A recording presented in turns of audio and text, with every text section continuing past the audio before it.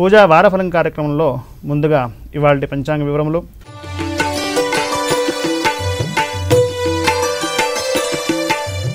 స్వస్తి స్త్రీ హేవళంబి నామ సంవత్సరం దక్షిణాయనం భాద్రపద మాసం కృష్ణపక్షం ఆదివారం. తిథి బహుళ చవితి ఉదయం ఏడు గంటల ఇరవై ఐదు నిమిషాల వరకు తదుపరి పంచమి.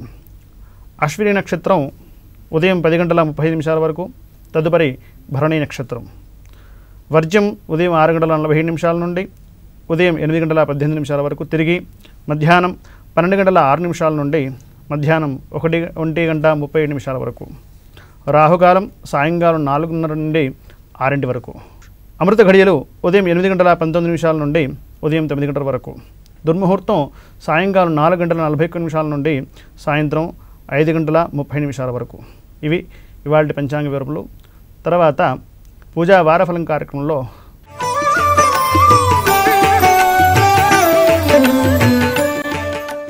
మిథున రాశి. మిథున రాశి వారిని ఈ వారం పరిశీలన చేయగా మీ ప్రమేయంతో ఒక శుభకార్యం నిశ్చయమవుతుంది. బంధుత్వాలు పరిచయాలు కూడా బలపడతాయి.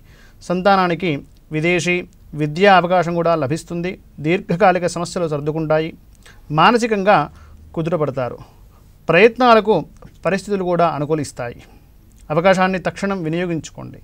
ఆదాయానికి తగ్గట్టు ఖర్చులుంటాయి. ఇష్టమైన వారి కోసం బాగా వ్యయం చేస్తారు. చెల్లింపులు నగదు స్వీకరణలో చాలా జాగ్రత్త అవసరం. మంగళ బుధవారాల్లో అనేక పనులతో సతమతమవుతారు. విలువైన వస్తువులు పత్రాలు జాగ్రత్త.